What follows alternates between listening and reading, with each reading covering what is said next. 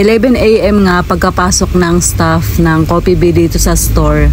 Hindi nga niya nasarado yung gate dun sa baba. Kaya 11.15 nga nag-akyata na nga yung mga estudyante. So yung mga ganong time nga nagpe-prepare pa nga lang nga kaming magluto. Yung unang tanong nga namin sa kanila pagkapasok nila dito kapag ka medyo napaaga nga sila kung willing to wait ba Kasi hindi pa namin nga sila mapagsaserban agad-agad. Tulad nga sa Coffee Bee, nagluluto pa rin nga sila ng pearl. So yung pagka ganun nga, meron namang pailan-ilan na bumababa na nga lang nga. Then yung iba naman, karamihan, mga nag-aantay na lang din sila. Yung mga regular customer nga namin, ng mga estudyante, halos kilala na rin nga namin Kasi sila. nga after nga ng school, dito na nga sila tumatambay. Then dito na rin nga sila gumagawa ng assignments. So itong time nga na to, meron na naman kaming bagong ililista sa menu namin. Chicken popper nga to at naka-rice bowl na naman nga yung pag-serve nito. So yun nga dahil nga maraming kumakain nga ng mga student nga dito, talagang nag-iisip kami ng para nga sa kanila. Yung kayang-kaya nga sa budget nga nila para makakain. 55 pesos nga yung benta namin. Kaya pag ipinartner nga siya sa milk tea, wala pa nga 100 pesos, mabubusog na talaga sila. Kasi yung pinakamababa nga ng price ng milk tea is nasa 35. Tulad nga nung chicken pastil nga namin, hindi lang sa mga estudyante mabenta, kahit na nga sa mga kumakain nga ng rice meal dito, sinusubukan din nila. Kaya yung niluluto ko ang chicken pastil, ang bilis lang din talaga maubos. Pagkatapos nga namin gumawa ng sample ng chicken popper, kumain na din nga kami. So nagprito na nga lang nga din si Geraldine ng manok. Sarap na sarap nga kami dun sa ginawa nga namin. Si Jinea nga, isa nga siya sa admin ng page nga namin. Yung mga unique post nga na pinupost namin, si Jinea at saka si Gerald nga yung gumagawa niya. So yun sa kanila ko na nga ipinapaubaya yung mga ganun. Dati nga kaming dalawa ni Gerald din yung gumagawa niya. Nung medyo bata-bata pa nga ako, mahilig din talaga akong mag-edit. Buti na lang talaga kamo at nahiligan din ni Jinea at saka ni Gerald. Si Geraldine ganun din. Kaya hindi na rin nga ako talaga namumroblema at hindi na rin nadagdag sa trabaho ko yung mga ganito. Kasi nga sa panahon ngayon at may negosyo ka, talagang napaka-importante ng advertising. Then pagdating naman sa mga video, ako na nga yung gumagawa niyan. Simpleng editing na nga lang nga yung ginagawa ko nga sa video. Hindi ko na rin talaga siya pinapabongga kasi malaking time din kasi yung makukonsume. Bandang hapon nga, pumunta na nga dito si Erica sa store. Meron nga siyang dalang suman. Galing pa nga raw to ng Antipolo. Dala-dala nga to ni Jason kasi napadaan nga daw siya doon. Then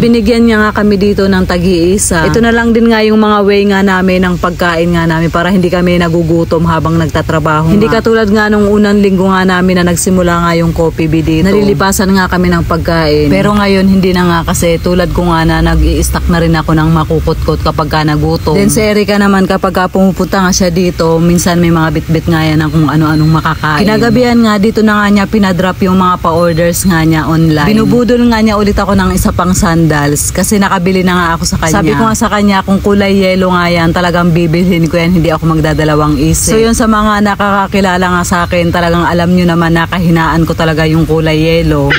Actually dati meron talaga siyang naitinda nga na yellow kasi in-stock ko nga yung page nga niya. Sabi ko nga sa kanya kung available nga yun, yun yung bibilhin ko. Kaya lang kasi nag-sale nga siya nung time nga na yun kaya hindi na nga siya available ngayon. Sabi ko nga sa kanya kapag ka meron nga ulit na yellow na available, talagang kunin nga niya at bibilhin ko nga. Available ng mga sandals and shoes. So, binibenta niya yan. Ang dami niya ng stock. Sale ba yan? Hindi naman. Yan. Ah, sale. Naka-sale daw siya, oh. Taray.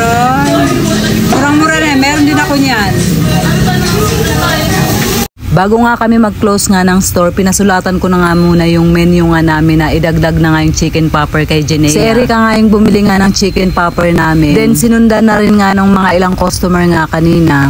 So yun na guys, hanggang dito na lang po yung ating video for today. Maraming maraming salamat po sa inyong panonood. Mag-iingat po kayo palagi. God bless and babush!